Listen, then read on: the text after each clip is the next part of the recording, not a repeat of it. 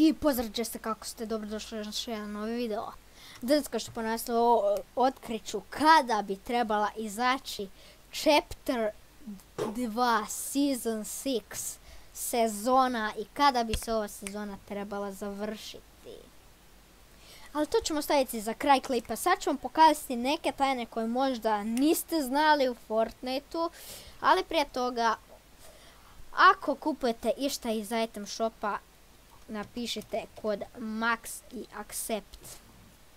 Mi se bacamo na prvu stvar. Ovo nije više tajna nego je kao novi crew pack gdje je kao ženski, ženska varijacija ovog drifta pod nazivom V i čak ima dva stajla.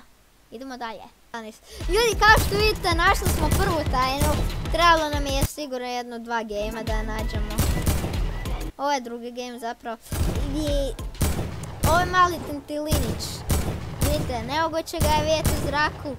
One, oni mali šta pjevaju. Oni šta mali... Oni mali šta pjevaju. Brate, lik se želi popest na slap, lik je nesposoban. I dosta je dugo trajalo ovo traženje i uspješno je bilo, nadam se da će ovaj klip. Bacite like do barem pet lajkova za ovog Tintilinića malog. A mi se bacamo na sljedeću tajnu. E, ljudi, e, e, i još jedna tajna u Coral Castle je ovdje. Točno na ovom tu mjestu.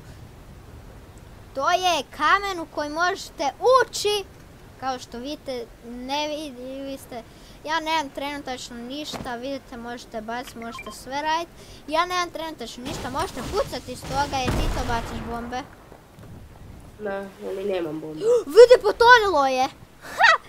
Ne mogu do njega sada. Evo ga. Da, imam ja. Zašto ne? E, ljudi, mi se bacamo na sljedeću tajnu ove... Eto, ljudi, jedna tajna, evo ovo pada dole u vodu. Ne, bacite. Ne kontam, to vam je za sreću. Ako već niste, ostavite like, subscribe da vam se ovaj bug ne desi i da vinate 100 gameova u idućih 10 minuta. O, brate, isti što svi youtuber. Znači, I ljudi, ma... I ljudi, kao što vidite, došli smo na kraj ovog videa i sad ćemo vam otkriti kad bi trebala se sezona 16 startati. Kao što ovdje vidite,